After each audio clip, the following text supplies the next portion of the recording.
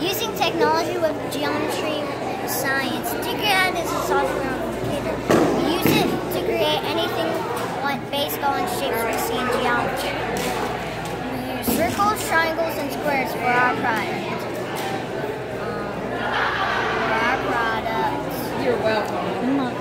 We can we can make them we can turn them around, make them bigger or smaller, and just like how it, and connect them together. That's how I made my toy.